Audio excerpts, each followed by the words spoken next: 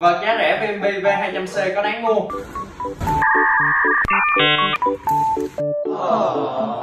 Thực sự khi Bill trải nghiệm cây BMB này á, là vô tình Bill mượn được một anh trong sân, anh có đánh.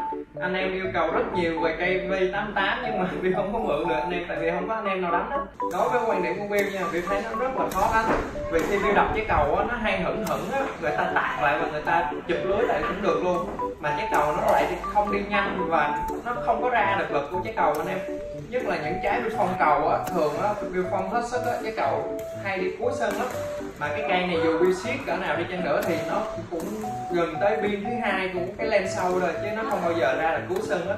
Mà nó kiểu bị lỡ lỡ lỡ lỡ á, cầu rất là non như cây combo K520 Pro này Bill trải nghiệm đi mặc dù nó nhẹ cái thân nó dẻo nhưng mà khi Bill đánh cầu á cái cầu nó vẫn ra lực cái cầu nó vẫn đi nhanh và vẫn đi cuối sân.